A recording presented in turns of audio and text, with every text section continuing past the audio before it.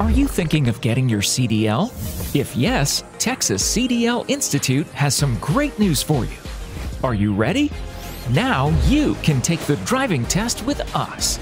Yes, you heard that right.